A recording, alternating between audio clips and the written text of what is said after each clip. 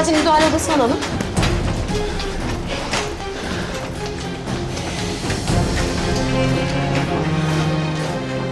Siz burada bekleyin. Ya çıldıracağım ya. Nedir bu başımıza gelenler?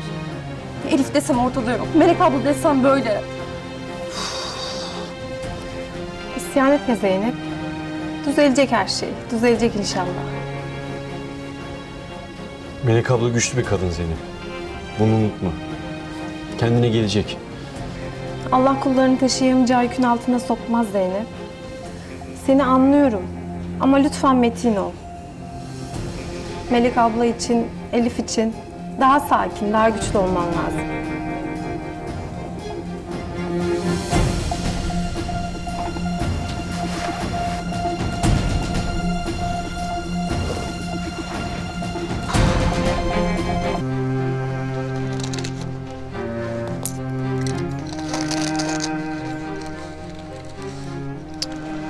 Tansiyonu çok düşmüş. Ayrıca çok zayıf, güçsüz. Evet çünkü günlerdir hiçbir şey yemiyor. Yani sadece sakinleştirici ilaçlarla ayakta duruyor. Neden? Bir sorun mu var? Evet kızı kayboldu. Hiçbir haber alamıyoruz. Melek abla da perişan oldu tabii. Üç gündür hiçbir şey yemiyor, içmiyor. Sadece ilaçlarla öyle uyuşmuş bir halde çaresizce bekliyor. Anladım. Kolay bir durum değil tabii ki. Bu durumda hasta tek başına yani sadece ilaçların yardımıyla bunu atlatamaz.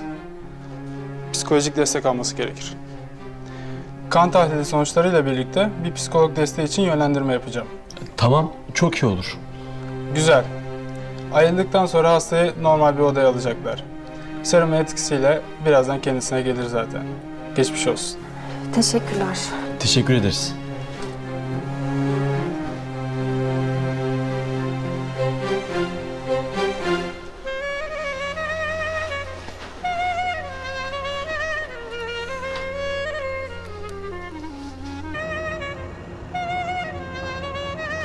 Elif!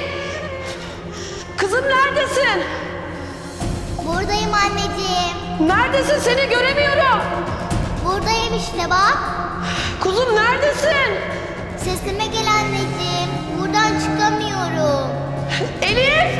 Kurtar beni buradan anneciğim. Seni çok özledim. Anneciğim dayan geliyorum. Anne kurtar beni. Anne. Az kaldı Elif'im.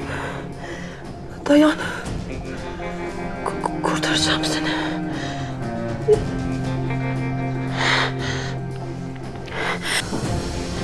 Melek. Elif! Melek uyan.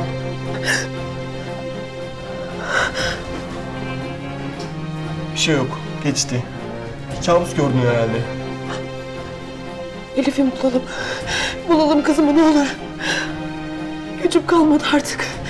Abi yalvarırım bulun. Ne olur bulun.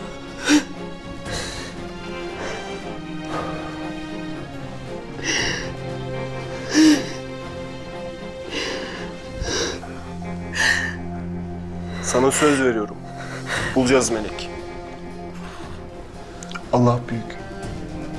Elif'imizi bize bağışlayacak. Sen merak etme. Bulacağız Elif'i. Daha çok güzel günler geçireceğiz. Sen gönlünü ferah tut. Biz ne badireler atlattık. Bunu da atlatacağız inşallah.